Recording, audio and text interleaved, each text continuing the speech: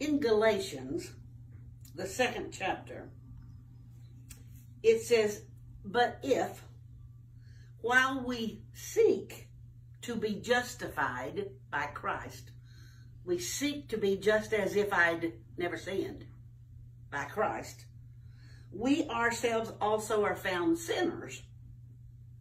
Is therefore Christ the minister of sin? God forbid. For if I build again the things which I destroyed, I make myself a transgressor. For I, through the law, am dead to the law, that I might live unto God. The scripture says that, that while I'm seeking to be a Christian, and if I mess up and I sin, it doesn't mean that Christ sinned or as a minister of sin, but it means that I have gone back to my old ways, uh, to the things which I have destroyed, and I make myself a transgressor. That I have to understand the devil's going to knock on the door, even in times of virus. He doesn't. Um, he doesn't stop at anything, and I'm sure he's been to more homes during this virus time and tried to frustrate the dynamics of the home. But he's visited this house in a, in a different way. The internet has not been working since Easter. You all know that I had a, a, a terrific time. And, and the hours that I've spent online with the internet supposed to be provider uh, is so frustrating and you talk to this one and you you know the you know how it is. Uh, if you're talking about this phone number, punch one. Uh, if you're talking about tech problems, punch one. Uh, if you're having this kind of problem, punch three. Uh, if you want to have this kind, of, if you're having this kind of a problem, punch four. Now we're having high volume, so wait about ten minutes, and we'll be with you.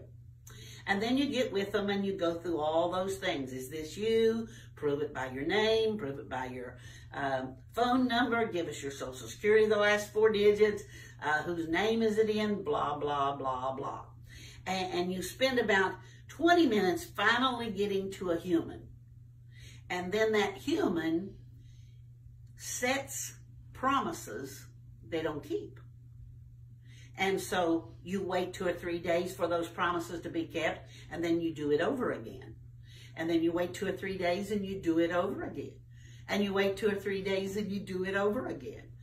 Today I spent an hour and a half listening to that music, boing, boing, boing, boing, and got nothing accomplished.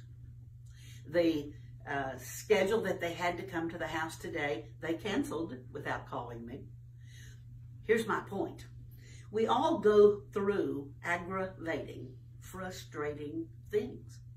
And, what the devil is hoping to do here is that while you're seeking to live a justified, I'm just as if I had never sinned. I'm justified.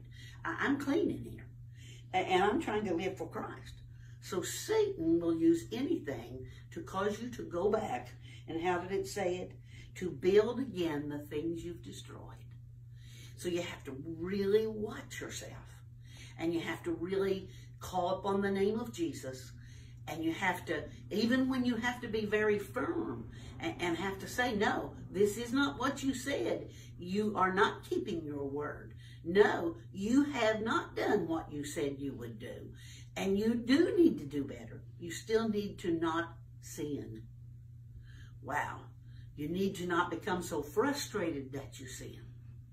I don't think it's humanly possible to not be aggravated by such things as the happenings in life. But we need to be sure that we sin not. Be angry, but sin not.